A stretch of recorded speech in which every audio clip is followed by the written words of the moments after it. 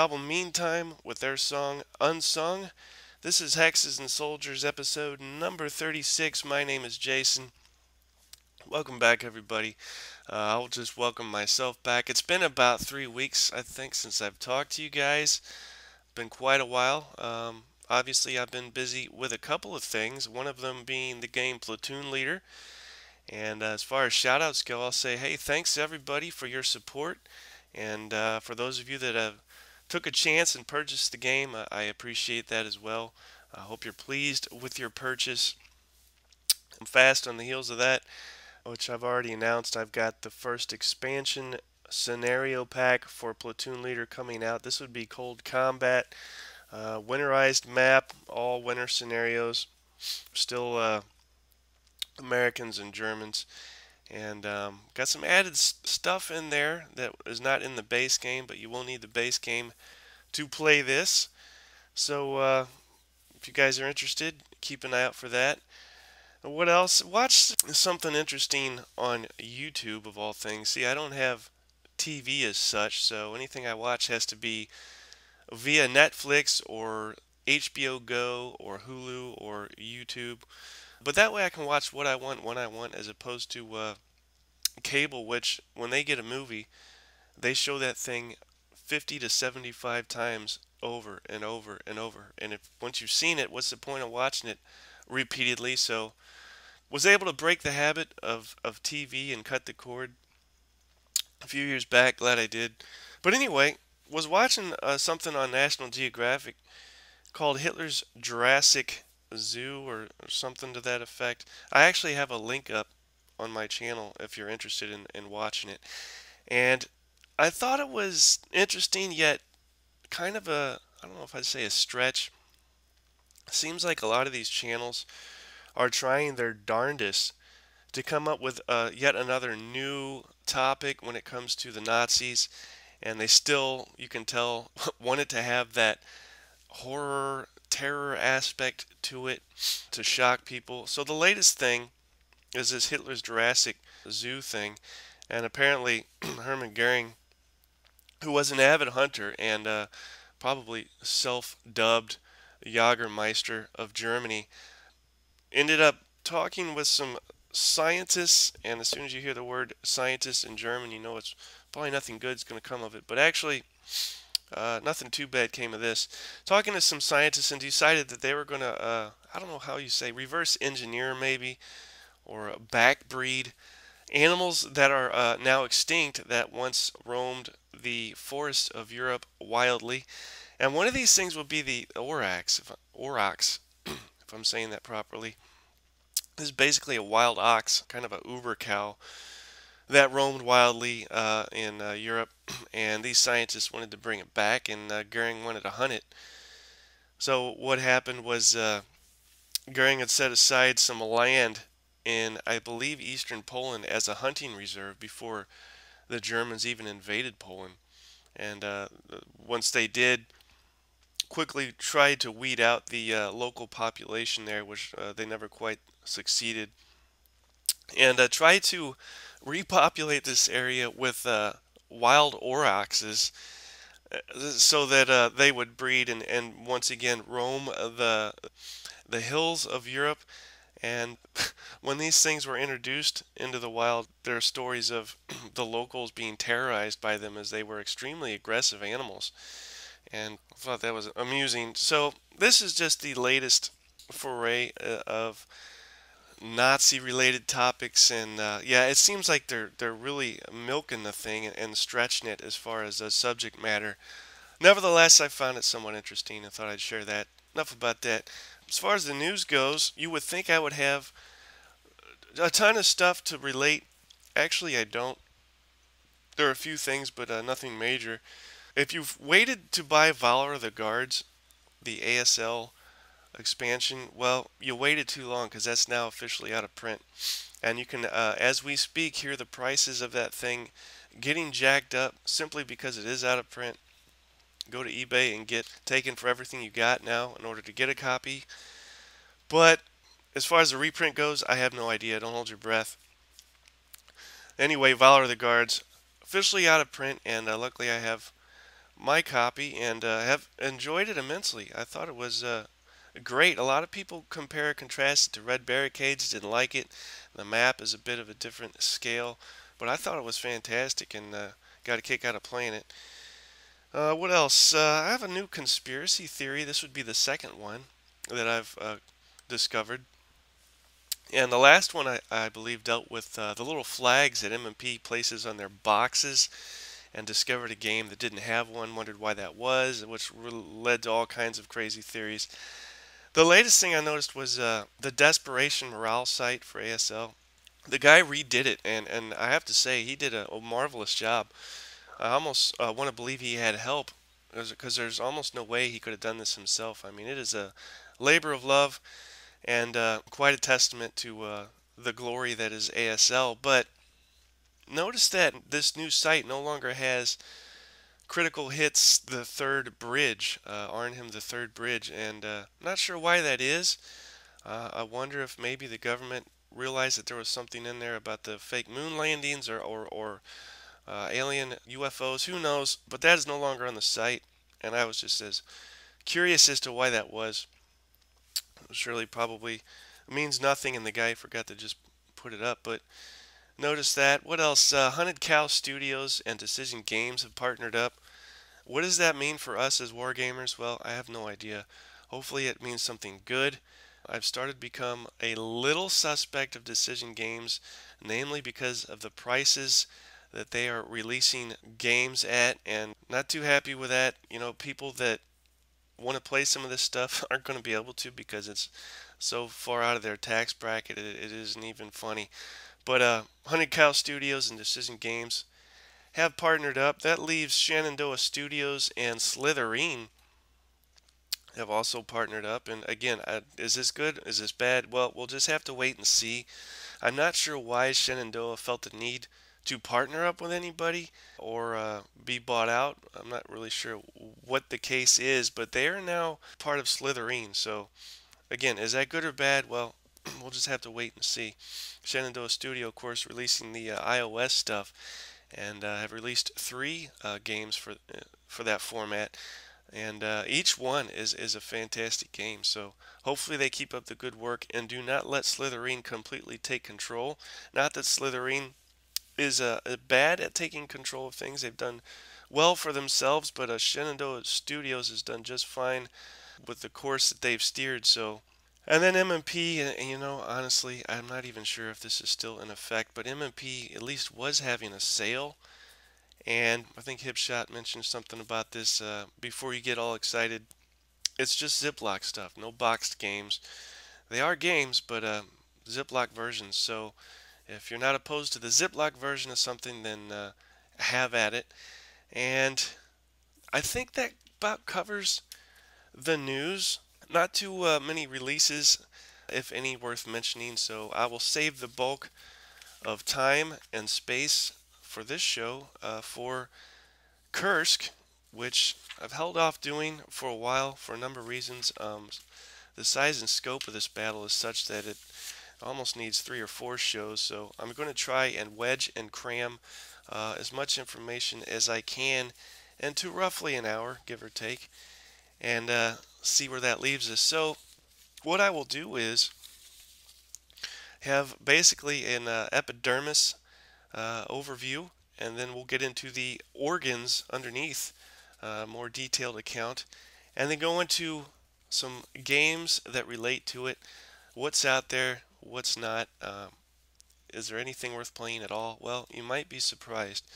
So if you're interested, stick around and kick back, relax, and, and listen to some uh, Kursk history and then some games that deal with it. So Operation Citadel, which was its official title, deals with a bulge. And, and at this point, at least from our perspective and even from a late 44 perspective, you have to ask what Hitler's infatuation with bulges were. And uh, on paper, it might be obvious, but a, uh, a psychiatrist might have an interesting field day looking at this. But yet another bulge, this uh, obviously preceding Battle of the Bulge in the Ardennes. But what you have here is by the summer of 43, the Russians had basically continued to advance east, and a bulge had occurred south of Orel and north of Kharkov.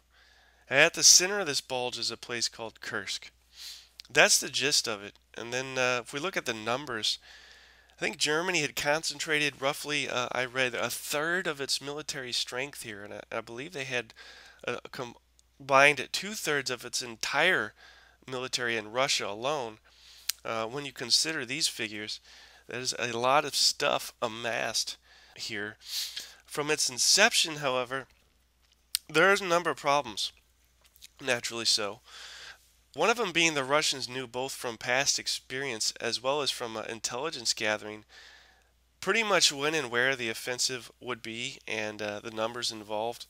So now the Russians had been learning since 41 how the Germans conducted offensives. I've talked about this in the past. They weren't just uh, ignoring what the Germans were doing, they were studying what was going on and learning and getting better. Uh, in some respects, getting better, doing uh, what the Germans did best, uh, better than the Germans themselves, and would excel greatly with their operations as time went on. But uh, since 41, they'd been studying how the Germans conducted offensive with their deep armor thrusts that resulted in uh, encirclements. And as such, they've decided to prepare accordingly in this particular instance. And the defensive Kursk was basically placed in the laps of two men, Rokossovsky and Vatutin. These two were basically the spearheads of the defense, while Konev hung out in the rear uh, with reserves that would prove key at a certain point, which we'll get to. But the main guy you need to, to be aware of, and if you only come away with one Russian name from this, that would be Zhukov. And uh, this name's going to come up again and again, time and time again. Uh, there's a great book out there, relatively new, um, that is to say, a year or two. Uh, it's been out about Zhukov, which uh, is worth reading. Uh, interesting guy, but this basically Zhukov has been tasked with the whole enchilada, if you will.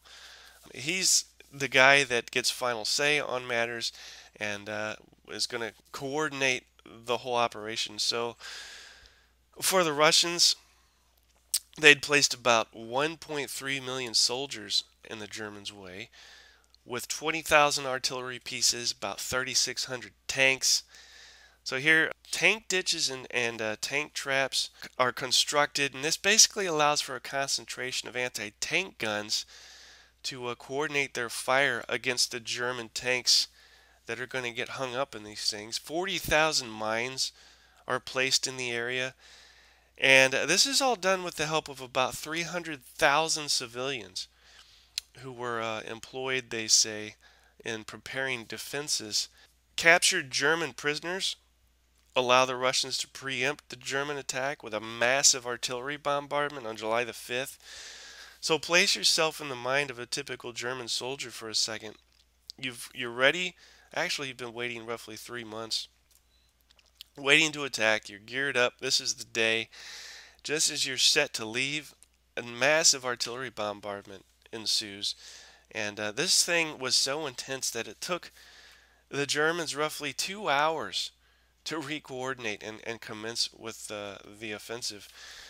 The main thrust, or a Schwerpunkt, if you will, of the, of the German attack consisted of about 500 tanks. Six miles of territory was rapidly covered uh, in about the first 24 hours, but at a, a severe cost.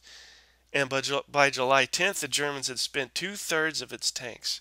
But as a, a title, the greatest tank battle, this would actually occur on July 12th at a town called Prokhorovka which was about 50 miles to the southeast of Kursk and involved about 1,500 tanks. So when you say the name Kursk and envision the greatest tank battle, you're actually envisioning what occurred uh, near Prokhorovka.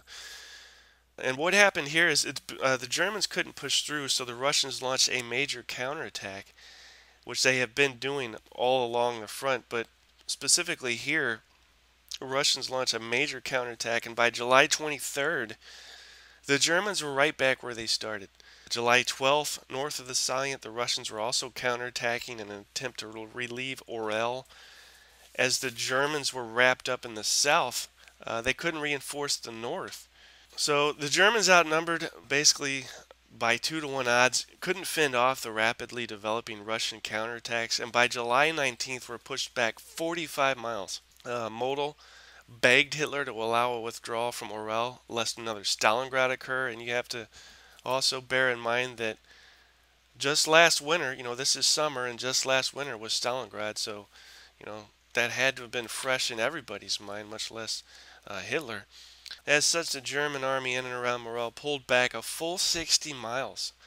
And uh, in the south, the Russians would enter Belgorod on August 5th and would ultimately liberate Kharkov on August of 23rd. So for the Germans, Kursk would be the last major offensive launched in Russia.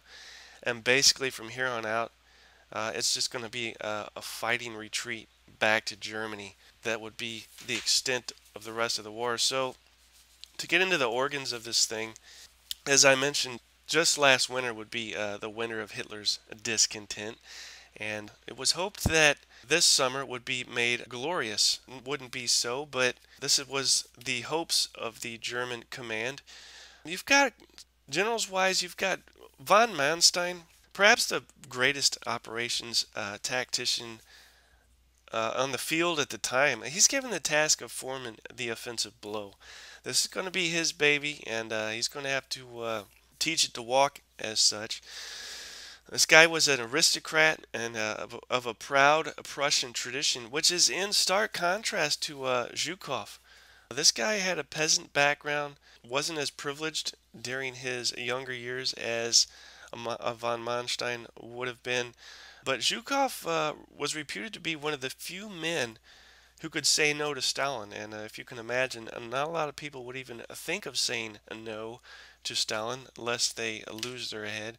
But for Zhukov uh, as well, human life, if this gives any sense of the man, human life is pretty much expendable when it comes to obtaining an objective. So if that tells you the extent to which he is uh, willing to commit himself when it comes to uh, completing something, hopefully that draws somewhat of a picture.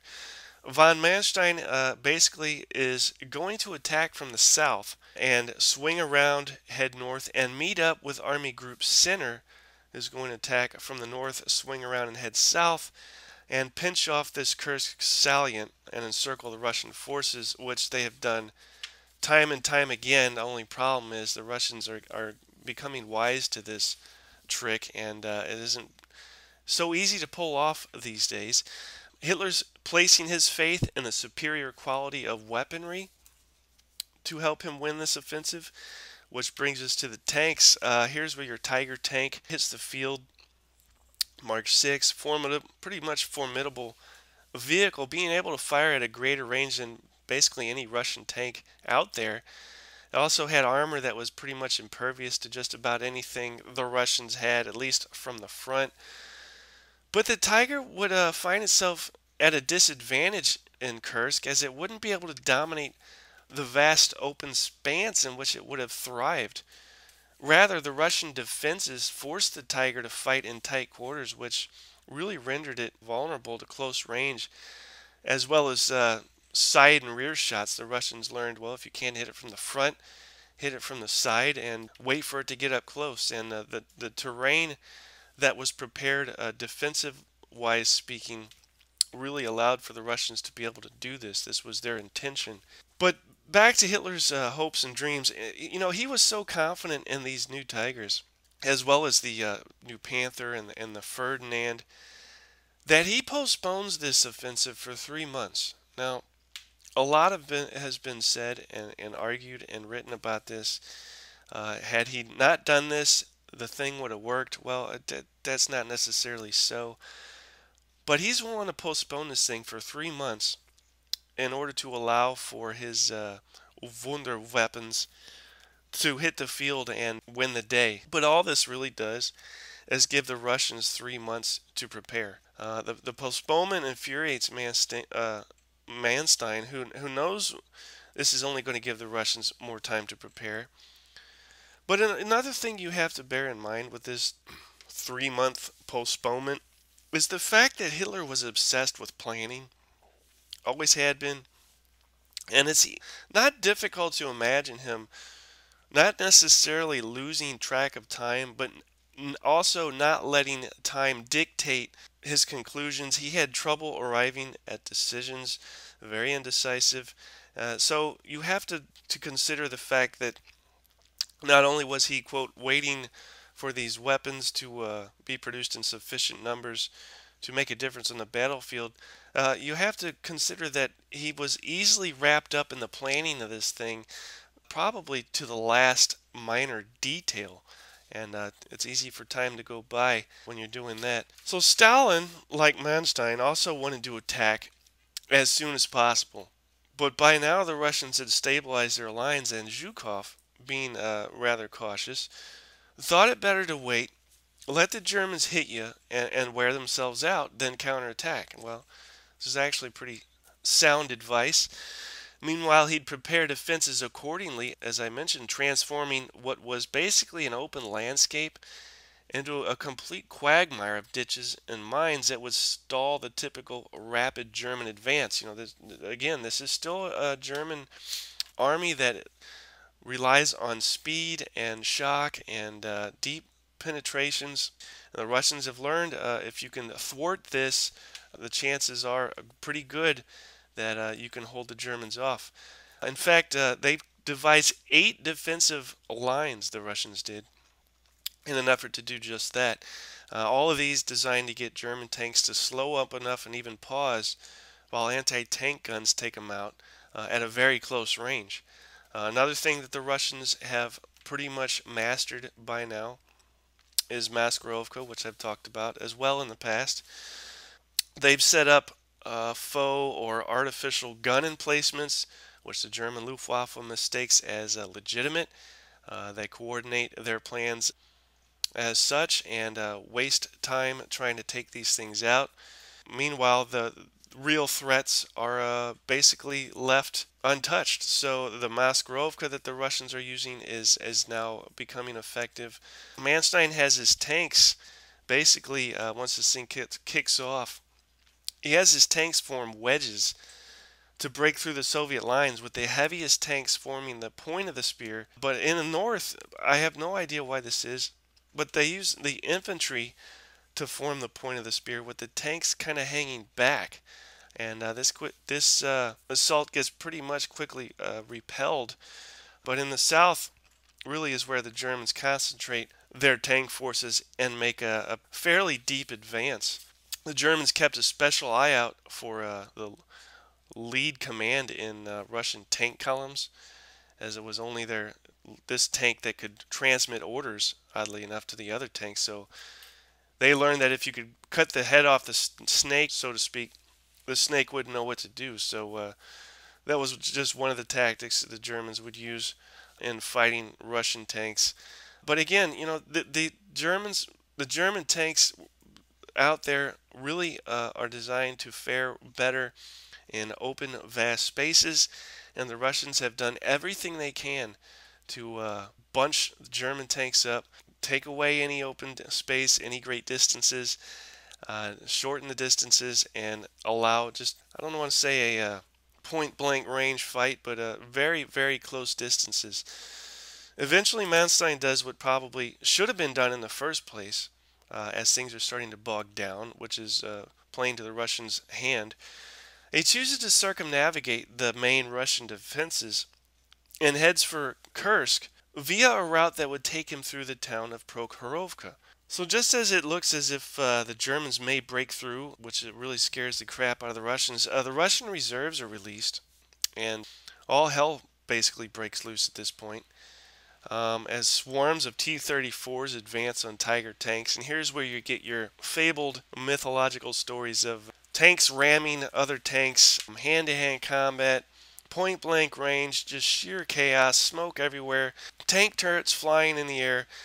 Most of this is true, but uh, a lot of it can be chalked up to uh, post-war mythology. How many tanks fought at point-blank range and rammed each other? Well, probably not as many as uh, myth would lead you to believe. Not that this didn't ever happen, but the extent to which it happened uh, is probably realistically not what is what occurred when it comes to stories. So swarms of T-34s are advancing on Tiger tanks in and around Prokhorovka And uh, basically, you can think of the T 34 as if Walmart sold a tank, this would be it.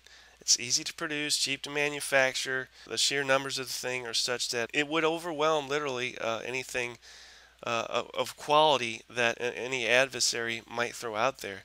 A couple of its main advantages being it was fast and it had a, a sloped armor, which allowed it to be fast because uh, if you slope the armor, that makes it more effective and means you have to use less of a thickness allowing for the tank to be lighter and thus move faster. So, meanwhile, the Allies uh, have invaded Sicily at this point, and right at the height of the battle, Hitler decides to pull tanks from the fight and reroute them to Italy. Right that instant, in the thick of things, you know, a decision to uh, commit perhaps just a bit more to the fight could turn the fight in the Germans' favor. Uh, instead, Hitler becomes distracted, interested in other things and, and pulls stuff directly from the fight, reroutes it to Italy. Uh, Manstein's dumbfounded by this. He can't believe it. He's uh, brokenhearted by it because uh, he, I guess, uh, at least initially, as much as Hitler believed in this thing. But uh, so once that happens, the fight's basically over. I mean, uh, the Hitler's not committed to it anymore. Manstein's out there with his stuff in the wind, and uh, it's over. I mean, the Russians are pushing through. They're they for for the Russians, Kursk isn't a singular event. It's part of a greater scheme of operations. Uh, for the Germans, I think it was more of a singular event, but there's stuff going on everywhere. And uh, eventually, Hitler orders Second Panzer out of the fight, as the Russians at this time are mounting thrusts all over the front. And uh, again, Kursk may be the main stage, but it's not the only stage. There's stuff going on all along the front, and Kursk is just part of a major offensive uh, that is involving all kinds of stuff that's going on. For the Germans, with the command uh, no longer committed to Kursk and being distracted uh, by the Allies landing in Italy, uh, the, the, thing's over. And, and again, the Russians have, have pushed forward, will continue to push forward. They are becoming adept at tank tactics and coordinating attacks. This isn't the Russians of 41 by any means. These guys are becoming a formidable fighting force, and the Germans are not taking it seriously still. So that's pretty much it for Kursk. After that, the Germans are going to fight with their backs to the enemy and, their faces towards Germany and, and a rapid advance to make it home. But uh, this would be the last major offensive in the east, and from here on out, the uh, the Russians would be pushing right on the heels of the Germans all the way back to Germany. So that's the Battle of Kursk in a nutshell, and a ton of stuff going on. Uh, if you want to read the defining book on the event, uh, you're going to need to read Glantz and House's The Battle of Kursk. Ton of books out there, uh, as usual, for anything, ton of books. But if you could only read one book, we're only going to get one book on the Battle of Kursk. That would be Glantz and House, uh, two authors. Battle of Kursk, and of course, Glantz being probably the foremost authority in the West, if not both uh, West and the East now, on the Eastern Front. Uh, the guy um, has done tons of research, especially into the uh, newly released archives, Russian archives, to get a uh, distinctly Russian perspective on Eastern Front battles and operations. But that's the book you want, uh, The Battle of Kursk by Glantz and House. That said, that brings us to some games that relate to Kursk. Quite a bit of stuff out there. Now, how much of it is worth playing? That is perhaps up to individual taste, how much you're willing to try. There are a lot of things to try until you find something you like. Uh, obviously, you can take the word of others at face value and uh, play what they like.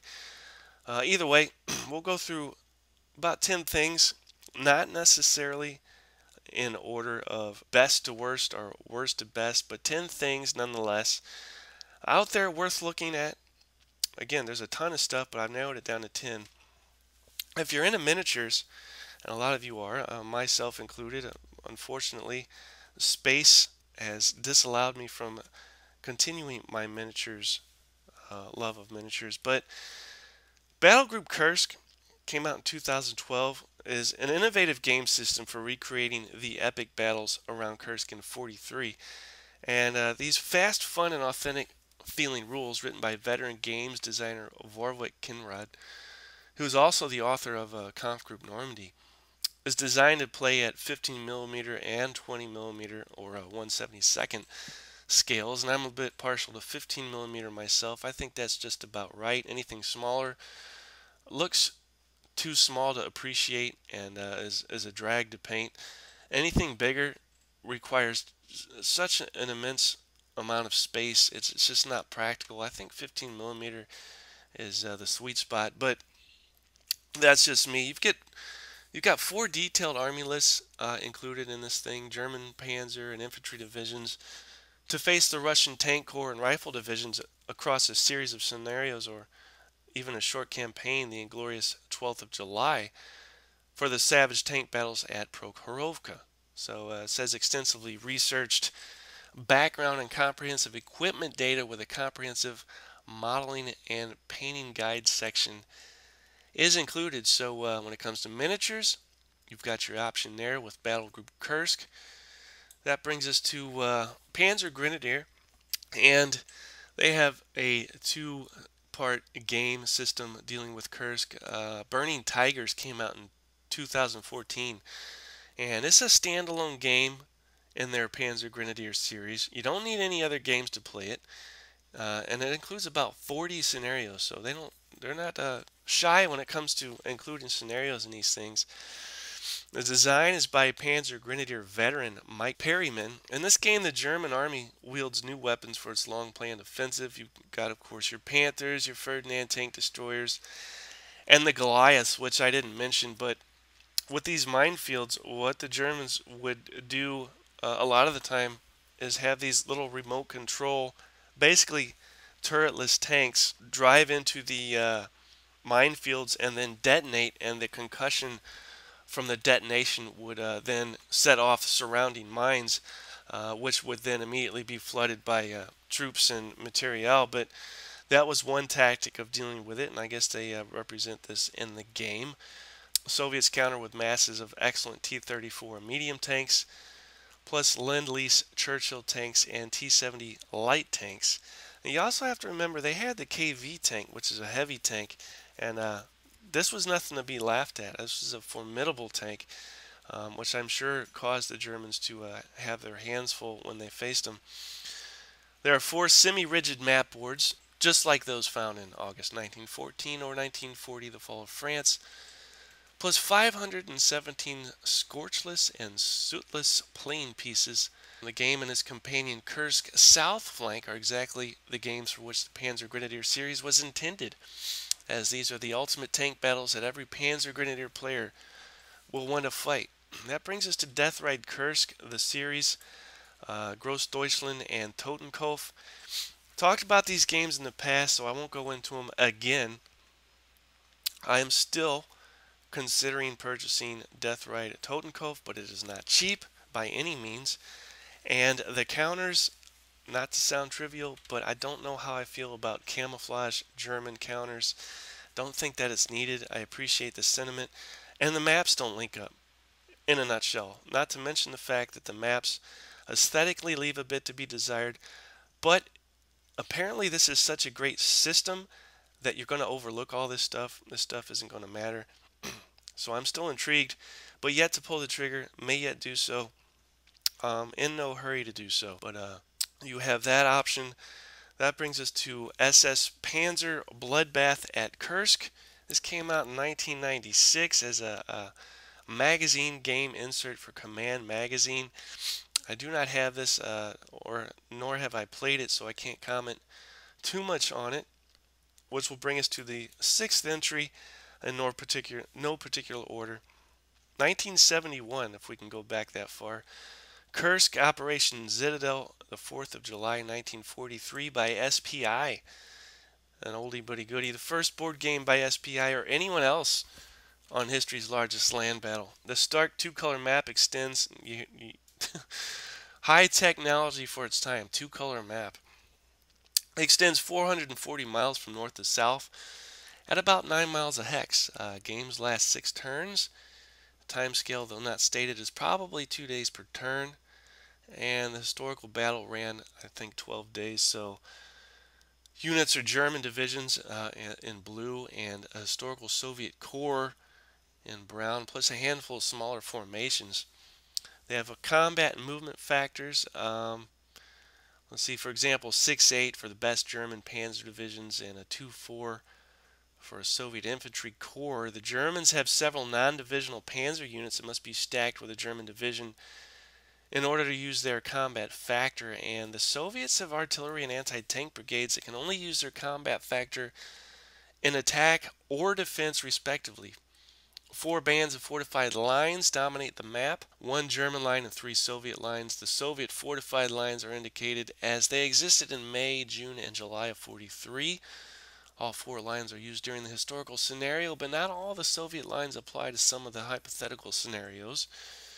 Players alternate turns, each having a movement phase, combat phase, and second movement phase for mechanized units.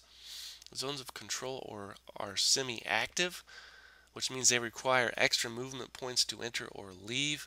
The stacking limit is three divisions or corps plus one smaller formation per hex.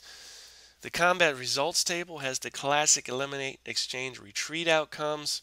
Supply lines must be traced over no more than 10 hexes to a rail line leading off a friendly map edge with a lack of supply having movement and combat factors. And if I could interject briefly, uh, another thing I forgot to mention was during uh, the pulling back of uh, out of Kursk, the Germans had a hell of a time coordinating their uh, withdrawal because the railroads were so screwed up by the Russians, uh, particularly the partisans, which uh, were scathing in their attacks during the German retreat, and that really complicated things for the Germans as far as coordinating their efforts in pulling back. But Back to the game, air power uh, in this thing is represented semi-abstractly by air units that can fly close support, interdiction, combat air patrol, air, air superiority, or interception missions. There's no command rules, but a couple of optional rules to try to suggest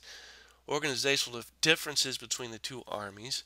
Uh, these options are quite advantageous to the Germans, who, as in reality, need all the help they can get one of these optional rules is the ability of the German mechanized divisions to not be completely removed from play on an eliminate result, but be replaced by low strength Kampfgruppen.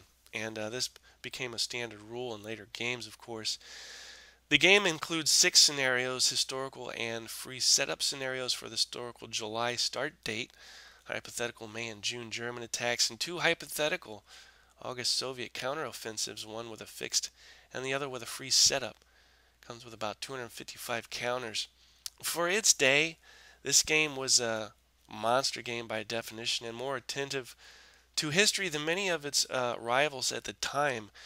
SPI used the same basic system, uh, generally with elaborations in later World War II games, again and again, and you're going to see this come up in uh, Breakout and Pursuit, as well as Moscow Campaign and Destruction of Army Group Centers. So, uh, groundbreaking system, the Kursk system, uh, coming up again in later games. That brings us to uh, Prokhorovka Armor at Kursk, 1979, when this thing came out. This game was first published as one of the Task Force Games pocket games. It was later released in a boxed version with the name on the cover shortened to Armor at Kursk. Units are German battalions and Russian regiments and brigades though all are similar in size and manpower. Hexes are about 400 meters across, and a turn represents about an hour. Citadel Duel for Kursk came out in 92. And this uh, brigade, regiment, battalion level simulation of Operations Citadel. Uh, the war game is played in nine turns, each representing one day of real time. About 400 counters represent ground units of the above mentioned size and air units. Individual units include Tiger battalions, Elephant battalions, Nashorn battalions, uh, infantry regiments, heavy rocket artillery regiments, dive bomber units, and more, which sounds interesting. Combat is resolved through an anti tank fire table and a combat results table. And a split map of the northern and southern operations is included. In other words, there's no chance of encirclement by the Germans. In addition, the Orel sector is not included. And you have to also ask history wise once the uh, assault in the north petered out, what were the chances of any success at Kursk um, going to be? I mean, you've got your southern attack doing better than north, but uh, there was no hope of meeting up or linking up at Kursk, uh, which was the intention of this thing. And uh, you just have to ask yourself, well, maybe what was the point of going on? And uh, I don't know. That brings us to Drive on Kursk, July of 43, 2008. Ty Bomba, guy's been around forever. This design is actually the third edition of the Kursk game, originally published by old SPI back in the 70s, which was re later redesigned into a second edition retitled as Eric Goldberg's Kursk. You guys may have seen or heard of this thing. Why is Eric Goldberg's name on there? Who is Eric Goldberg? Well, I looked it up, and he's done a number of things, nothing that stands out uh, too loudly. Um, among them, though, uh, he was one of the designers of Highway to the Reich. So, of, of all the things he, he has done, you would most likely know him uh, or be most familiar with Highway to the Reich. Well, he was one of the guys that helped design that. That is who Eric Goldberg is. Uh, does that allow him to slap his name on the cover of a box and uh, use that as a selling point. Uh, I don't know that it does, but he, they did, and uh, perhaps it was an experiment to see if uh, putting a name on something would sell a game. But this would be one of my suggestions, and I'll get to that at the end of this list. But one of my suggestions as far as a, a Kursk game. But the first edition of the game used the proto system originally devised by uh, Mr. Dunnigan for France 1940, which he published early in Strategy and Tactics. And this new edition uh, by Bomba shares an evolution of the system used in their other Road to Ruin titles, uh, such as Drive on Stalingrad or Drive on Moscow. And for each of the player turns, both players determine the phase sequence their own forces will use, which is pretty interesting. That is, they may choose to have their movement phase first, followed by their combat phase, or they may choose to fight first, then move, or they may choose to have two movement phases, or they may choose to have two combat phases. And uh, not to plug my game, but that does ring of familiarity. Number one, and again, this does not mean this is the top Kursk game. This is simply the end of the list. Clash Along the Psel Battle of Kursk 43 came out in 2004. Here you can uh, obviously recreate the Battle of Kursk on a tactical level like never before. Clash along the Psel brings you to the bank of the river Psel, where crossing by the 3rd SS Panzer Grenadier Division Totenkopf drew an immediate and massive reaction from the Soviet 5th Guards tank army. The result was a titanic clash along the Psel that saw Panzerkampfwagen 6 Tiger tanks crisscrossing the legendary steppe in mortal combat with hordes of T-34 tanks. The Germans reached the dominating terrain of Hill 226.6, overlooking the Oboyan Prokhorovka highway, only to be attacked by wave after wave of Soviet tanks. The Germans were soon caught up in a savage battle to hold the perimeter around their pontoon bridge over the Psel. With the German spearhead attacked at its base, further advance in the Battle of Kursk came to an end for SS Totenkopf. This is a module for the Advanced Tobruk system, so if you don't know anything about the Advanced Tobruk system, uh, don't get it. but for those of you that are fans of the Advanced Tobruk system or, or know how to play it, uh, it doesn't sound like you can go wrong with this. That ends our list of Kursk games. Again, not to sound like a broken record, there are a ton of stuff out there, so feel free to uh, explore at your leisure. As far as what I suggest, well, it's tough to say because just because I suggest something doesn't mean you're going to like it. Um, the strategy and tactics game, uh, Kursk game, I would suggest that as far as uh, affordability. And then as far as attention to detail, you know, I'm going to have to, based on what I've read, again, I haven't played it, but on the based on the reviews, things I've heard, and what I've read about this thing, your Death Ride Kursk series, especially the Totenkopf one, give that a shot. Now, you're going to pay a lot of money for this. It's involved. It's uh, not for beginners. It's a new system that you're going to have to learn. But from what I've read, again, it sounds like it's worth it. That's all I have to offer. You know, again, haven't played it, so I can't give you my 100% approval, but this sounds the most uh, detailed and interesting. Uh, so there's that. And then that leaves uh, Eric Goldberg's Kursk. Give that thing a shot. That's out of print now, obviously, so you may pay a bit more than it's worth.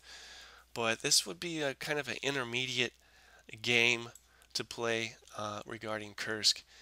And then also I'll throw in the uh, Battle Group Kursk for miniatures fans. Um, for those guys of you out there that I have an allergic reaction to hexes and counters, well, fear not, Battle Group Kursk is there to save the day for you. And uh, feel free to give that a shot. I know a lot of people who have played that and liked it, recommend it. So there's some options for you regarding Kursk. And that pretty much brings us brings us to the end of the show. A lot going on right now in my world, and you know, having produced Platoon Leader and put it out there. Also, again, currently working on a playtesting and designing new scenarios for the uh, Cold Combat expansion pack for Platoon Leader. Is keeping me busy, and you know, I have to say, I like it.